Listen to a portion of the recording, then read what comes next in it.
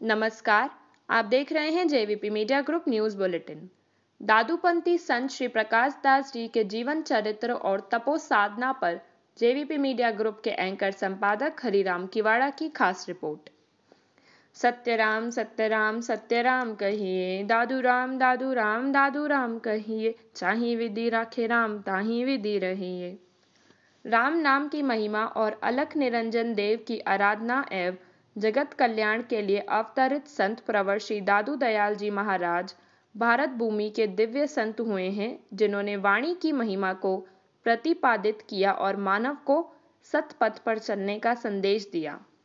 इसी सतपथ का नाम दादू पंथ है, जिसमें हज़ारों संत दादू वाणी के प्रचार, प्रसार और परमार्थ में लगे हैं।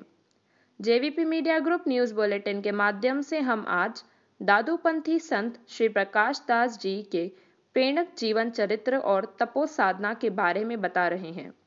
राजस्थान के भीलवाड़ा ज़िले के छोटे से गाँव में जन्मे प्रकाश दास मात्र छह वर्ष की आयु में बाल संत के रूप में प्रसिद्ध हो गए।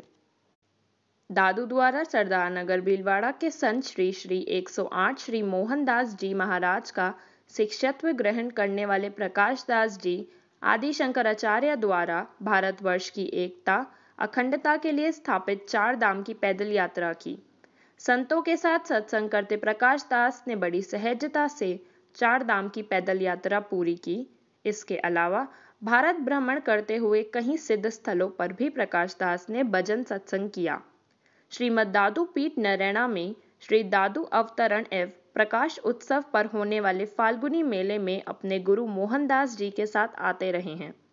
यहीं पर प्रसिद्ध तपोदारी संत श्री रामपाल दास जी महाराज और राम प्रसाद दास जी महाराज का सानिध्य मिला, जिनसे प्रभावित होकर श्री दादू दयाल आश्रम निवाई आ गए। नेवाई में प्रकाश दास ने सत्संग और विद्या अध्ययन किया।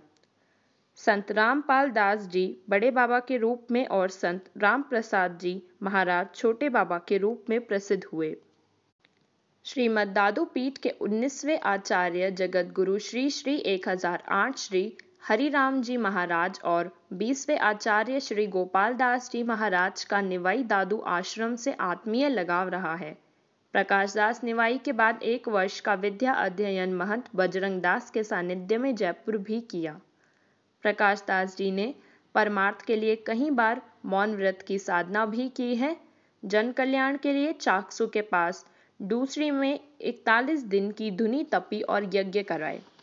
सौम्य एवं सहदई प्रकाश दास जी ने नई के नाथ में रहने वाले दिव्यांग संत चेतन दास जी की भी खूब सेवा की। वर्ष 2010 में गौरक्षक लोकदेव श्री राला बाबा दाम किवाड़ा पर रहने वाले संत श्री भंडारी दास जी के देहावसान के बाद संत प्रकाश दास जी और संत जगत दास जी को आश्रम व्यवस्था का दायित्व दिया गया। तब से प्रकाश दास जी श्री रारा बाबा धाम के निर्माण और विकास के साथ सत्संग और धार्मिक कार्यक्रम लगातार कर रहे हैं। गौरक्षक लोकदेव श्री राला बाबा की रणभूमि किवाड़ा में संत प्रकाश दास जी ने वर्ष 2014 में संत श्री दादू दयाल गौशाला की शुरुआत की। गौ माता की श्वास श्वास में है वेदों का ज्ञान रे, गौ माता के आस पास में रहते सब भगवान रे। गौ माता की महिमा को बढ़ाने और लोकदेव श्री राला बाबा के गौ रक्षार्थ बलिदान से प्रेरित होकर प्रकाश दास जी ने गौशाला चलाने का संकल्प लिया। आपको बता दें कि राला बाबा ने लोकदेव तेजा जी के समकालीन लगभग सवा नौ सौ वर्ष पहले गौरक्षा के लिए संघर्ष किया था, जिसमें सैकड़ों गौहर्ताओं को मारकर गायों को छुड़ाया और ग्वालों को सुपुर्द किया। उस संघर्ष में राला बाबा का सिर कटने के बाद भी सीने में आँखें निकल आई थी और युद्ध करते रहे। आखिर में संपूर्ण गौ हड़ताओं को मार गिराने के बाद वीर गति को प्राप्त हुए। राला बाबा की सिर कटी हुई प्रतिमा आज भी यहाँ मौजूद है, जहाँ पर कहीं सिद्ध चमत्कार होते हैं। राला बाबा की इस रणभूमि का क्षेत्र किवाड़ा, भैरूपुरा और जिवली गाँवों के त्रिवेणी संगर पर है, जिसे हम झिरनिया गौशाला के नाम से जानते हैं। संत प्रकाश दास जी ने गौशाला के निर्माण और विकास के लिए राला बाबा दाम पर हर वर्ष ज्येष्ठ माह की अमावस्या को आयोजित होने वाले लक्की मेला समारोह में गौ भक्तों का आह्वान किया और जन सहयोग का कारवा शुरू किया। जेवीपी मीडिया ग्रुप की पहल पर स्वर्गीय रामदयाल सुखदेव जी की वाड़ा की पुनः स्मृति में सहयोग का छोटा सा प्रयास किया और धीरे धीरे प्रदेश भर के महानुभाव जुड़ने लगे।